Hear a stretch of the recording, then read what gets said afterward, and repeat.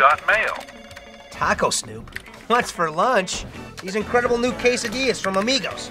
I just love the shredded beef quesadilla. Yeah, it's a real authentic Mexican taste. They've perfected their cheese quesadillas.